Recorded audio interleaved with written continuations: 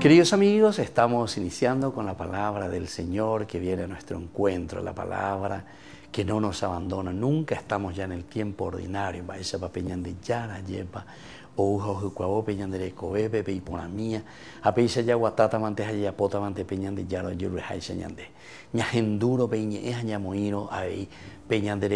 Escuchemos hoy de la carta a los Hebreos, capítulo 2 versículos 14 al 18. Hermanos, ya que los hijos tienen una misma sangre y una misma carne, Jesús también debía participar de esta condición para reducir a la impotencia mediante su muerte a aquel que tenía el dominio de la muerte, es decir, al diablo, y liberar de este modo a todos los que vivían completamente esclavizados por el temor de la muerte porque Él no vino para socorrer a los ángeles, sino a los descendientes de Abraham. Y así continúa esta palabra del Señor.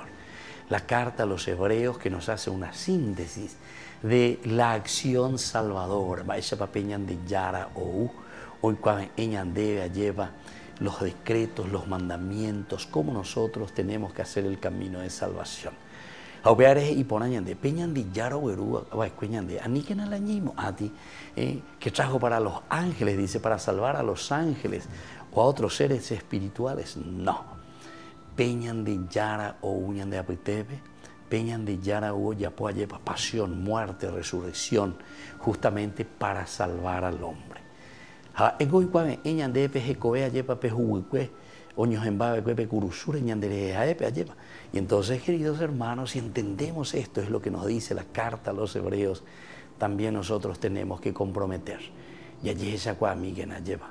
Baisa pa peñande yarañandera juetere y baisa pa peñandere noina. Ya ya popo rajanguave y peñanderape.